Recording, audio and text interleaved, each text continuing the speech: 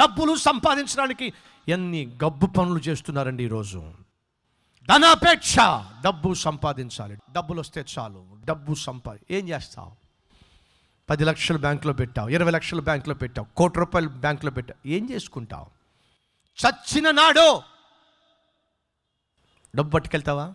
చచ్చిన నాడు బంగారం పట్టుకెళ్తావా? చచ్చిన నాడు ఆస్తిపాస్తులు పట్టుకెళ్తావా? అలెగ్జాండర్ ద గ్రేట్ అలెగ్జాండర్ చక్రవర్తి ప్రపంచంలో తాను జయించని దేశము లేదు.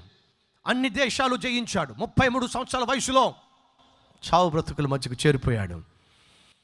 భయంకరమైన రోగంతో చావు బ్రతుకులతో కొట్టుమిట్టాడుతున్నప్పుడు తన మంత్రిని పిలిపించి అన్నాడు నేను చచ్చిపోయిన తర్వాత నా రెండు చేతులు బయట పెట్టి ఆ బాక్స్ని కప్పండి అన్నాడు.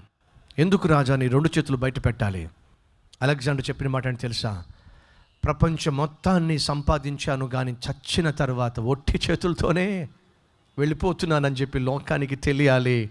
కాబట్టి నా చేతులు బయట పెట్టండి. సహోదరుడా సహోదరి నీ శరీరాన్ని పాడు చేసుకొని సాక్ష్యాన్ని పాడు చేసుకొని కళ్ళను పాడు చేసుకొని ఒళ్ళును పాడు చేసుకొని ఆత్మీయతను పాడు చేసుకొని దేవునితో ఉన్న సత్సంబంధాన్ని పాడు చేసుకొని రక్షణ ఆనందాన్ని పక్కన పెట్టి ఎందుకు సంపాదిస్తావు అక్రమముగా? జాగ్రత్త. అక్రమముగా సంపాదించి సాధించేది ఏమీ లేదు. నీతిమంతుడు సంపాదించే కొంచెమైనను వినండి. భక్తిహీనులు సంపాదించే బహు సమృద్ధి కంటే అత్యధికమైన ఆశీర్వాదము నీతిగా సంపాదించే సంపాదనలో ఉంది. కాబట్టి ఈరోజు పిలుపునిస్తున్నా నీతిగా జీవించండి. నీతిగా సంపాదించండి. కలిగి ఉన్న దాంట్లో తృప్తిగా జీవించండి.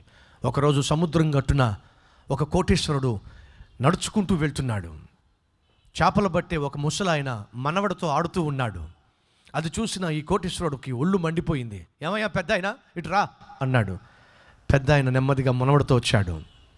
చెప్పయ్యా మనవడితో ఆడుకోకపోతే చక్కగా సముద్రంలోకి వెళ్ళి చేపలు పట్టచ్చుగా? చేపలు పడితే ఏమవుతుంది? ఎక్కువ డబ్బులు వస్తాయి. ఎక్కువ డబ్బులు వస్తే ఏమవుతుంది? ఖరీదైన వలలు కొనుక్కోవచ్చు. ఖరీదైన వలలు కొనుక్కుంటే ఏమవుతుంది? ఇంకా ఎక్కువ చేపలు పట్టచ్చు. ఇంకా ఎక్కువ చేపలు పడితే ఏమవుతుంది? పెద్ద పెద్ద పడవలు కొనుక్కోవచ్చు. పెద్ద పెద్ద పడవలు కొనుక్కుంటే ఏమవుతుంది? ఇంకా చేపల వ్యాపారం పెరుగుతుంది. ఇంకా చేపల వ్యాపారం పెరిగితే ఏమవుతుంది? ఇంకా డబ్బులు సంపాదించవచ్చు. ఇంకా డబ్బులు సంపాదిస్తే ఏమవుతుంది? అప్పుడు కూర్చొని నీ మనవడితో ఆడుకోవచ్చు. అప్పుడు ఆ తాతయ్య అంటున్నాడు మరి ఇప్పుడు చేస్తుంది ఏమిటి అదే చేస్తున్నా. అంటూ కోటీశ్వరుడు చెప్పాడు పిచ్చి కోటీశ్వర మనవడితో ప్రేమగా ఆడుకోవాలంటే నువ్వు చెప్పినట్టుగా కోట్ల కోట్ల రూపాయలు బ్యాంకులో పెట్టుకోని అవసరంలా. కలిగి ఉన్న దాంట్లో తృప్తిగా జీవిస్తే చాలు. ఇంటి వారితో సంతోషంగా గడపవచ్చు. కలిగి ఉన్న దాంట్లో తృప్తిగా జీవించండి. గుడిసెలో ఉంటున్నారా? తృప్తిగా జీవించండి. రిక్షా తోలే వ్యక్తిని చూసారా పొద్దంతా కష్టపడతాడు. మధ్యాహ్నం ఎండ వస్తుంది అలసిపోయి ఉంటాడు ఒక చెట్టు కానీ ఏదైనా నీడ చూసుకుంటాడు.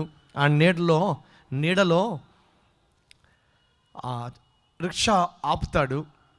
రెండు కాళ్ళు తీసుకెళ్ళి స్టీరింగ్ మీద పెడతాడు. నడుము తీసుకొచ్చి ఇంతే ఉంటుంది సీటు. ఆ సీటు మీద పెడతాడు. తన తలకాయ తీసుకెళ్ళి వెనకాల సీట్లో పడుకుంటాడు. ఇలా మీరు చూస్తే రెండు కాళ్ళేమో స్టీరింగ్ పైన చిన్న సీటు మీద నడుం తలకాయ వెళ్ళి సీట్లో. మధ్యలో పెద్ద ఏమీ ఉండదు ఆనుకోవడానికి. గురక పెట్టి నిద్రపోతాడు. ఎందుకని? కష్టపడ్డాడు. యథార్థంగా కష్టపడ్డాడు. సుఖంగా నిద్రపోతున్నాడు. డబ్బులు బాగా సంపాదిస్తారే. వాళ్ళకి పరుపు ఉంటుంది. ముందే ఏసీ ఉంటుంది. అది ఫుల్ స్పీడ్లో ఉంటుంది. గదంతా చల్లగా ఉంటుంది. వీడికి మాత్రం చెమటలు పడతా ఉంటాయి. ఎందుకని? ఎవడొస్తాడో? ఏ ఇన్కమ్ ట్యాక్స్ ట్యాక్స్ వాళ్ళు వస్తారో? ఏ శత్రువులు వచ్చి చంపేస్తారో? ఎందుకు వచ్చిన భయం చెప్పండి. కలిగి ఉన్న దాంట్లో తృప్తిగా జీవించు. అలా కానప్పుడు డెఫినెట్గా దేవుని శిక్షను భరించాలి. యథార్థంగా జీవించాలి. గర్వాన్ని త్యజించాలి. దీనత్వాన్ని కాపాడుకోవాలి. ధనాపేక్షను దగ్గరకు రానివ్వకుండా డబ్బు విషయంలో బహు జాగ్రత్తగా చేతులు మలినం కాకుండా శరీరాన్ని మలినం చేసుకోకుండా మనం జీవిస్తే డెఫినెట్గా మన ఆత్మీయ జీవితాలు బాగుపడతాయి.